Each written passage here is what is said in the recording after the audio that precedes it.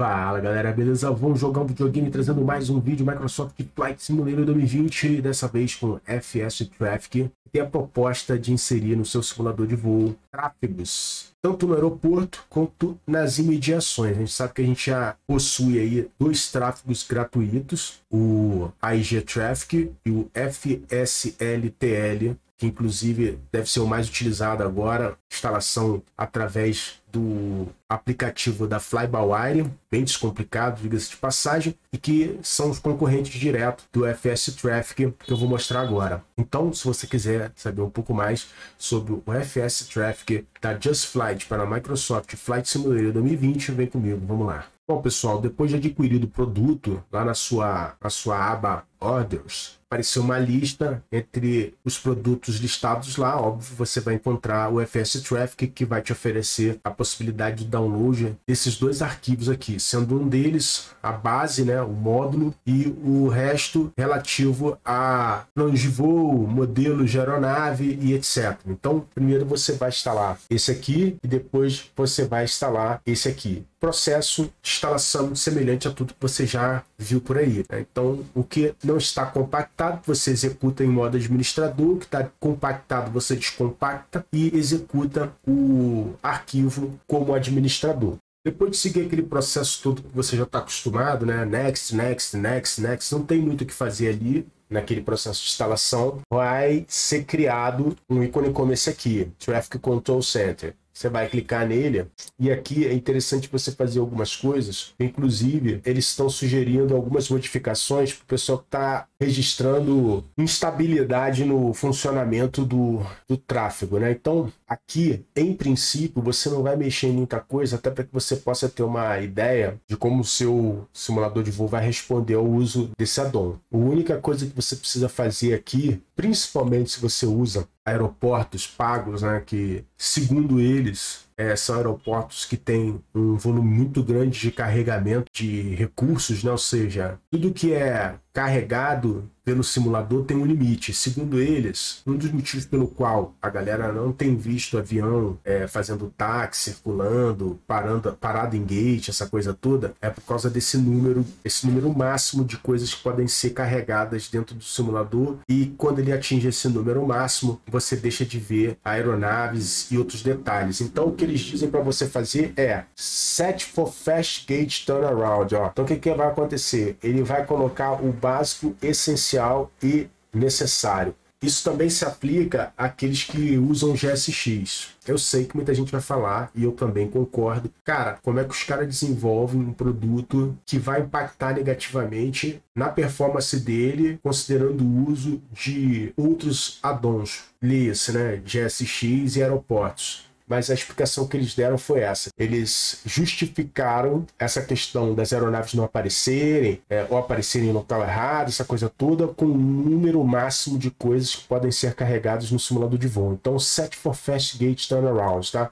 Não mexe mais em nada aqui, tá? No primeiro momento. Depois a gente vai fazer um tutorial ensinando a mexer nesse sistema todo aqui, tá? Mantém tudo do jeito que está aqui, tá? E isso aqui você já pode fechar se você quiser, tá? Então a gente vai fechar aqui. Agora a gente vai partir para o carregamento do simulador de voo. Bom, pessoal, depois da instalação, o simulador carregado, o processo para você iniciar seu voo é semelhante ao que você está acostumado, tá? Só que antes de você fazer isso, é importante você vir aqui em Option, depois General Option, você vir aqui em Traffic, você replicar o que você está vendo aí na tela, tá? Fazendo isso aqui, você já está pronto para você iniciar o teu voo. Então, não esqueça de vir aqui e replicar o que você está vendo na tela. Qualquer coisa diferente disso aqui é por tua conta e risco. Isso aqui é uma orientação da Just Flight com relação a alguns problemas que foram registrados por usuários nesse primeiro momento depois do lançamento, beleza? Então, dá um aplicar e salvar e você já pode vir aqui e carregar o seu voo. Importante, você vai carregar o seu voo num primeiro momento no aeroporto de grande movimento para que você possa ver se ele está funcionando, se está tudo de acordo, tá? Porque se você colocar o teu avião no aeroporto com volume baixo de operações diárias, você não vai conseguir ver o FS Traffic funcionando. Então, traga o teu avião para um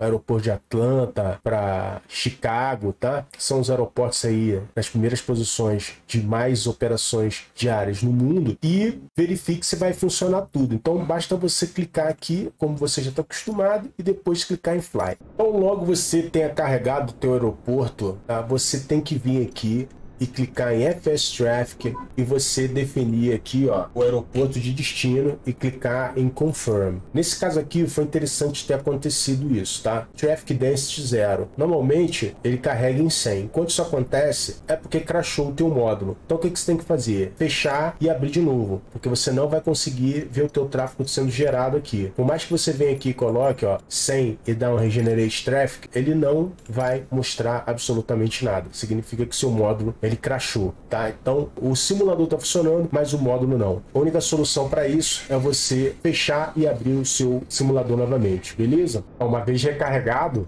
você já vem aqui ó, e verifica. Agora ele está em 100. Aí você volta a inserir aqui o aeroporto de destino, dá um confirmar. E aí é o seguinte: algumas coisas que precisam ser ditas aqui, tá? Você pode definir a densidade para mais ou para menos de acordo com o comportamento do seu simulador. O que, que você precisa observar tá? para você definir isso? O impacto em termos de FPS que isso pode causar no teu simulador, né? Quanto mais coisas sendo carregadas, mais processamento e menos recurso ele pode oferecer. Então, observe em termos de perda de FPS, o que isso significa, aumente ou diminui. Outra questão importante antes de fazer isso é você saber que existe um limite de objetos que podem ser carregados pelo simulador de voo. E uma vez alcançado esse, esse limite, ele deixa de carregar outros objetos que eventualmente é, deveriam ser carregados é, na sequência. Então vamos supor que ele carregou tudo isso aqui, tá? Ó. Vamos supor que ele carregou todos esses aviões e aí uma dessas aeronaves ela vai começar a se movimentar. Se tiver alcançado o limite, ele não vai carregar a atividade do avião. Então você precisa observar isso. Se por acaso você começar a verificar que não existem aeronaves no, no pátio ou existem aeronaves no pátio e mais você não vê as aeronaves em aproximação, como aquela lá, por exemplo, aeronaves decolando. Então o que, que você precisa entender? Que você precisa diminuir a densidade do seu tráfego, porque eu já falei numa outra oportunidade que além disso é importante também você saber que uma configuração muito importante está disponível, deixa eu minimizar aqui, através do Traffic Control Center, tá? Esse carinha aqui é onde tudo que acontece no seu FS Traffic está configurado. Uma das coisas muito importantes a saber é que aqui em Ground Service, ó, eu defini tudo para zero, tá? Por quê? Atitude de testar como seria o comportamento das aeronaves em solo, táxi, essa coisa toda. Por quê? Por causa desse número máximo de objetos que podem ser carregados em cada aeroporto, segundo a gente Flight é uma limitação do próprio simulador de voo. Voltando lá no simulador, agora a gente teria que começar a, a ver ó, a operação acontecer, como você está vendo ali. Ó.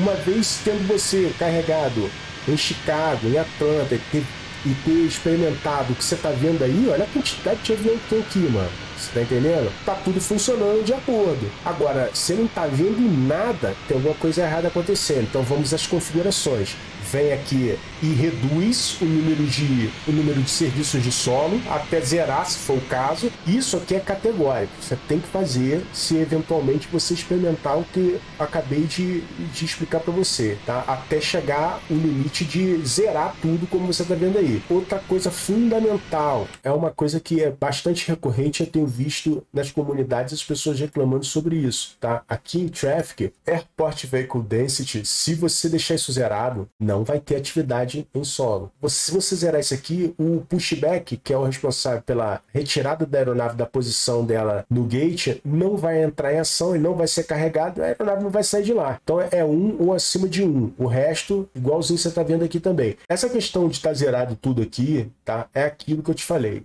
A questão está é, tá relacionado ao número máximo de, de objetos que podem ser gerados no, no aeroporto. Você vai falar, ah, mas isso é absurdo, velho. O troço tinha que funcionar. Eu também acho. Eu, eu concordo com você, tá? É, tem muita coisa aqui que está tá completamente fora do, do, que a gente esperava como resultado de um produto que vem sendo propagado, né, como o divisor de águas, né, do que seria tráfego para Microsoft Flight Simulator. E você vê uma série de restrições, uma série de condições para que funcione então eu tenho que dizer, entre o, o gratuito e esse aqui, eu vou, vou ser bem sincero, eu preferiria o, o, gratuito. Bom, com relação ao impacto direto do FS Traffic na performance do simulador, eu não observei uma diferença significativa em termos de estar ou não usando o FS Traffic. Eu não experimentei uma perda de performance significativa a título de vir aqui dizer, não, você perde muita FPS, por essa razão eu não recomendo. Ou se você pode aguardar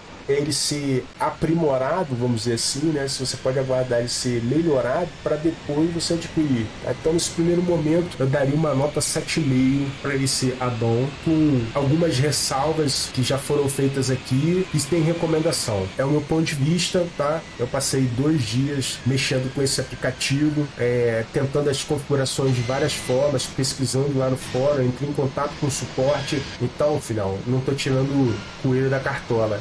Eu estou trazendo para você a verdade mais transparente do que a límpida água da Lagoa Azul certo? Então eu espero que seja de alguma forma útil para você decidir sobre a aquisição ou não desse produto para o Microsoft Flight Simulator 2020. Se você tiver alguma colocação a fazer em relação ao dito no, no vídeo, fique à vontade de nos comentários aí. Se tiver alguma dúvida também com relação à configuração, é, deixa aí nos comentários. Bom pessoal, é isso. Vou ficando por aqui. Não esqueça de deixar o seu like aí para ajudar na divulgação, fortalecer a conexão. Fico todos com Deus. Um grande abraço. Até o próximo vídeo.